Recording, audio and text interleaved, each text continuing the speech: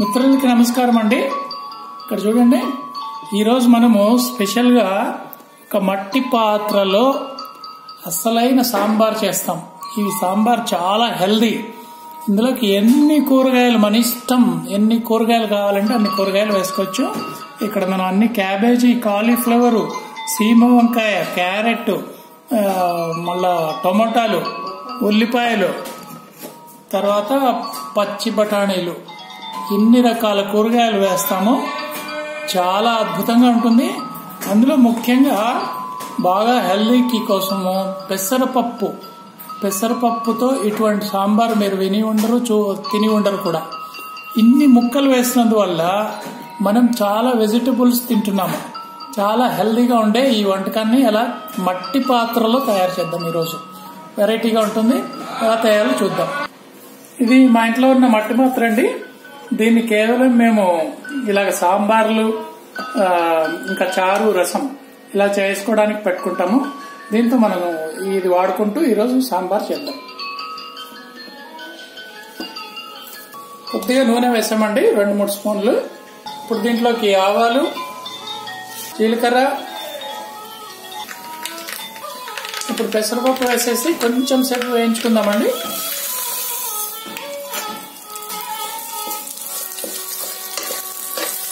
ఇప్పుడు మనం తరుపు పెట్టుకున్న కూరగాయ ముక్కలన్నీ మీకు నచ్చిన వెరైటీలు ఎన్ని కూరగాయలను వేసుకోవచ్చండి.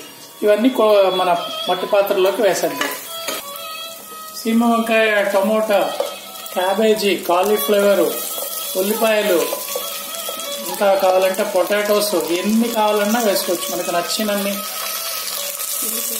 ఇప్పుడు గ్రీన్ పీస్ కూడా వేసేస్తామండి. బఠానీలు పచ్చి బఠానీలు.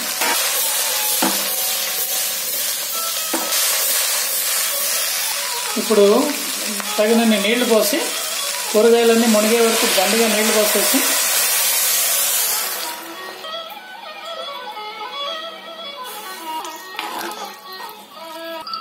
కొద్దిగా పసుపు కూడా వేసేద్దామండి ఇప్పుడు.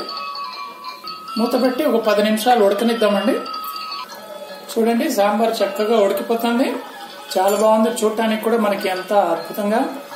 తర్వాత టేస్ట్ కూడా అంతే దీంట్లో ఉంటుంది. తప్పనిసరిగా ఇది ప్రయత్నం చేయండి. మట్టి పాత్ర లేని వాళ్ళు మామూలు కుక్కర్లో తయారు చేసుకోవచ్చు. దీంట్లో ఉన్న సౌలభ్యం ఏంటంటే చాలా టేస్ట్.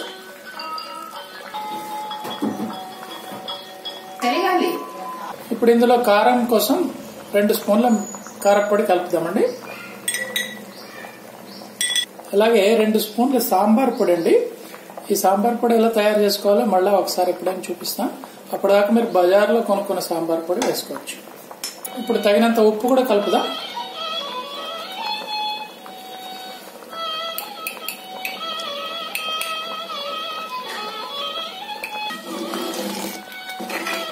ఇప్పుడు తగినంత కొత్తిమీర కరివేపాకు వేసుకుందాం. కరివేపాకు కూడా వేసుకుందాం.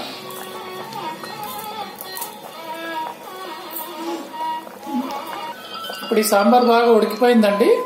దీంట్లోకి మనము తిరుగుమాత వేసేసాము. ముందే తగినంత ఉప్పు కారం కలిపాము. సాంబార్ పొడి కలిపాము. ఇప్పుడు పులుపు కావాలి. పులుపు గురించి ఒక రెండు నిమ్మకాయ ముక్కలు కలుపుదాం. నిమ్మకాయల జ్యూస్ తీసి కలుపుదాం.